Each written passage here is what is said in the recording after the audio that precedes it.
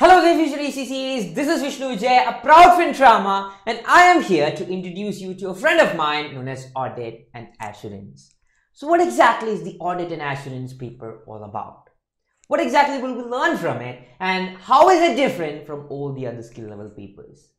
This is exactly what we will be discussing, okay folks? However, before we deep dive into it, don't forget to subscribe to our channel and click on the bell icon so that you can get notified for more informative videos.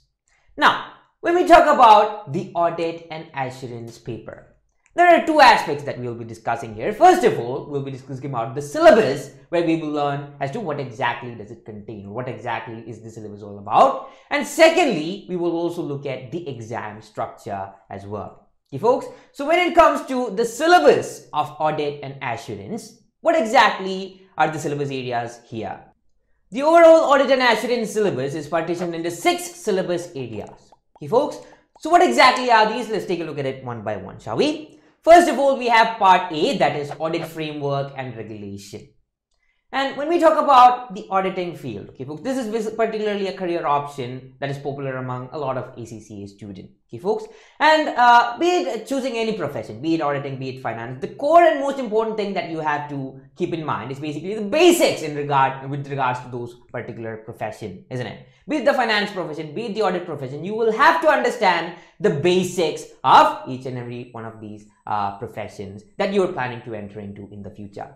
And that is exactly what we will cover in this particular syllabus area. Okay, folks, we will be looking at the basics of auditing first of all. Okay, folks, what exactly is audit? What exactly are various types of audit? What exactly is assurance engagement, etc. All these things will be looked at in this particular syllabus area. And more and about that, as auditors, what they have to do is they will have to comply with a few laws and regulations. Okay, folks, so these regulations will also be covered within the syllabus area as well.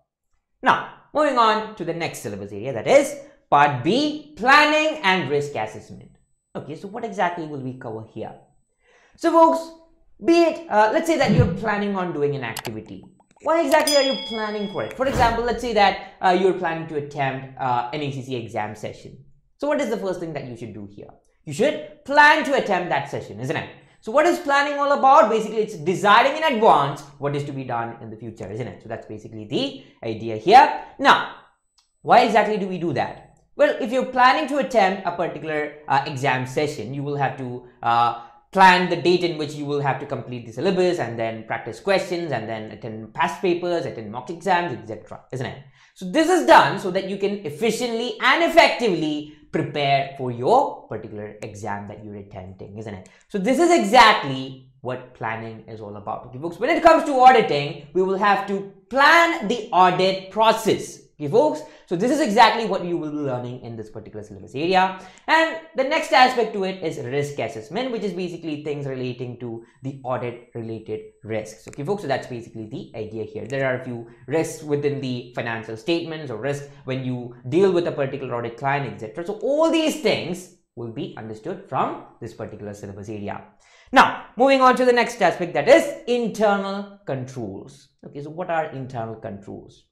Internal controls can be said to be the immune system of a particular uh, organization. Why do I say that? Because what does the immune system do? It prevents diseases from occurring from the human body, isn't it? That's basically it. However, when it comes to organizations, we don't have any uh, biological aspects to learn here, but more and about that. When it comes to an organization, there is always a possibility that uh, fraudulent activities or errors can occur within the financial statement preparation process or, or, any other systems within that organization, isn't it? So in order to uh, in order to take a precaution against these kinds of risks, the organization what they do is they implement certain measures, okay, folks, and these control measures are known as internal control. That's basically the idea here. Okay, folks, that's just to give you a brief idea as to what internal controls are. And of course, we will be learning a lot more things in relation to internal controls within this particular syllabus area as well. Okay, folks, the auditors may review the internal controls, identify deficiencies, etc. All these things will be learned within this particular syllabus area. Now, moving on to the next aspect, audit evidence.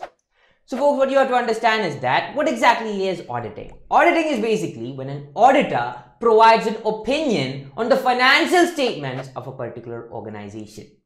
Okay, so what exactly does that mean? Well, we will learn that within syllabus area, syllabus area or syllabus part A itself.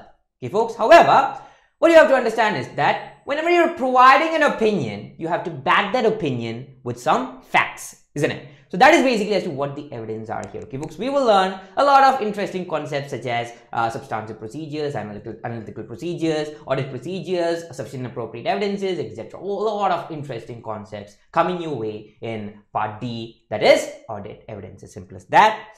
And of course, in part E, we have review and reporting, which is like the uh, one of the final stages in the audit process. Okay, folks, so that's basically the idea here. What we do is after conducting everything, or after conducting all the audit uh, related activities, we're gonna review it once more just to make sure that everything is okay or not. Okay, folks, that's basically a part of what we will be doing, doing uh, what we will be learning in part E, review and reporting as well.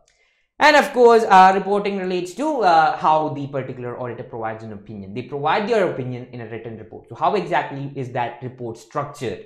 Or uh, how exactly will they report to various uh, stakeholders of the organization or the organization itself all these things will be covered under this particular syllabus area now so this is what the entire syllabus used to be however nowadays we have a new amendment or new syllabus area added to this particular uh, each and every subject within ACCA as well. Okay, folks, this is known as employability and technology skills. Okay, so what exactly is the idea here? This is not much theory there is not much theory to it okay folks it's just a practical uh, skill that you need to have so what exactly do i mean well basically these are just the uh, cbe related knowledge that you should have so that you can be prepared to attend the CBE exam. That's basically it, okay, folks. Now, the good news is that we will be covering the entire syllabus content throughout our video lectures in FinTram. And of course, we will also be teaching you regarding the CBE related techniques and tricks within the uh, when we practice questions within the question marathon and throughout the sessions as well. Okay folks? So that is basically as to what the entire audit and assurance syllabus is all about. Okay so now we have a brief idea as to what we're about to deal with isn't it? Now moving on to the exam structure. As I stated earlier, the audit and assurance exam is a bit different from all the other skill level papers such as performance management, financial management, or taxation, or even financial reporting as well. How exactly is it? Because if you look at all the other skill level exams, what exactly was the exam structure? We have three sections, section A, B, and C. And of course, we had 15 MCQs in section A, uh, 3 OTQs within section B, and a total of, I would say, 2 to 3 uh, case study questions within uh, the section C as well, isn't it? And of course, it was a 3-hour exam. Okay, folks, so that's basically the idea behind the other skill level papers. However, when it comes to audit and assurance, it's a bit different. How exactly is that? Because in audit and assurance, it's still a 3-hour exam, that's for sure. However, when it comes to the exam structure, we only have two sections, section A and section B. Okay, folks? And what exactly will be tested in each of these sections? Let's take a look at that, shall we? In section A, we have three OTQs or objective test questions.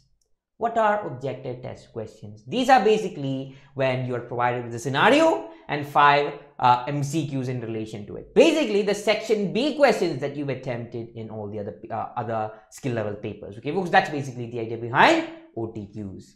Okay, and we know that for one OTQ, we get a total of 10 marks, isn't it? And for three OTQs, we get a total of 30 marks, isn't it? So that's basically the idea here. Okay, folks? Now, uh, 30 marks in section A. What about in section B? When it comes to section B, we have three CRQs or constructive response questions. Okay. So when it comes to these three CRQs or in other words, case study questions to put it very simply, we have one case study questions worth 30 marks and two case studies worth 20 marks as well. And how much is that in total? That's a total of 70 marks, isn't it? In section B, you will get a total of 70 marks. Okay, folks? 70 in section B and 30 in section A. That gives us a total of 100, isn't it? So that's basically as to what the exam structure of audit and assurance is all about. So another question that you may have is as to whether this particular paper is a theory paper or does it involve any sort of calculations, isn't it? So let me tell you guys, It does have a few direct theory questions within section B especially and of course it also has a minor level of calculations when it comes to materiality calculations or when it comes to ratio calculations as well. However, majority of this particular paper will be testing you with practical scenarios. Okay, folks. So the examiner will provide you with a scenario where you have to, let's say, identify audit related risks and of course, uh, point out deficiencies in internal control systems to provide substantive procedures, audit procedures, etc. And you should tackle that particular scenario as an auditor. Okay. So your answer should be specific to that scenario rather than stating the knowledge that you've learned from the syllabus itself, isn't it? So that is exactly the expectation that the examiner has from you. Okay, folks, you will have to deal with that particular practical scenario. Okay, folks. So I would say that rather than a theory paper, it's more like a practical paper, isn't it? It's a skill level paper, so it's definitely involves a practical uh, uh, skill that should be demonstrated within that particular paper. Okay, folks, so remember that. So that's basically as all about the audit and assurance paper. And of course, remember guys, we will of course be covering the entire syllabus throughout our video lectures. And of course, we will be practicing each and every questions of section A, OTQs as well as section B case study questions, uh, the past paper questions, exam standard questions and questions within the CBE environment within our question marathon as well. Okay folks, so that you can learn all the exam techniques, exam tips and tricks to tackle the CBE exam in the most efficient and effective manner. So that's all what I wanted to cover. If you have any questions, feel free to drop that down within the uh, comment section. Okay, folks? And don't forget to subscribe to our channel and stay tuned for more informative videos. This is Vishnu Vijay signing off.